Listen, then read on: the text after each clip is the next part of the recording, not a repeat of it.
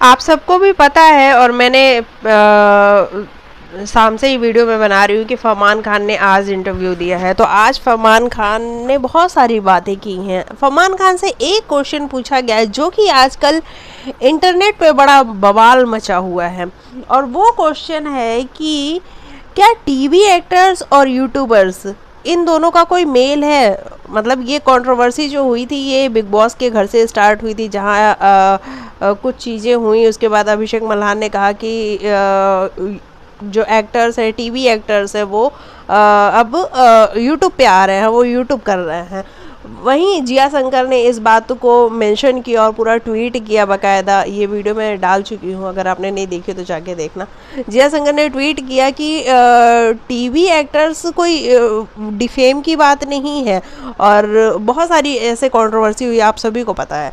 तो ऐसा जब क्वेश्चन फरमान से पूछा गया तो फरमान ने इस पर जो रिएक्शन दिया फरमान का ये था कि देखो आ, कौन अभिषेक मल्हान? मैं नहीं जानता अभिषेक मल्हान को। और फरमान ने ये भी कहा कि नो ऑफेंस मैंने ओटीटी नहीं देखा है तो मुझे पता नहीं है कि कौन है अभिषेक।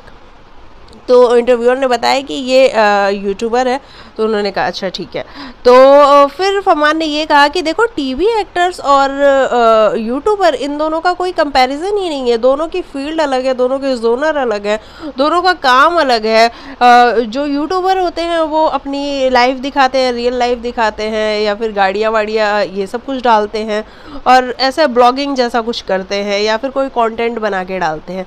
और वहीं जो हम टीवी एक्टर्स हैं हम कैरेक्टर्स देते हैं, हम इनको ड्रामा देते हैं, हम स्टोरी देते हैं अवेयरनेस फैलाते हैं। तो इस तरीके से फरमान का रिएक्शन था कि दोनों के जो काम है वो बिल्कुल डिफरेंट है। यूट्यूबर का काम अलग है और टीवी एक्टर्स का काम अलग है।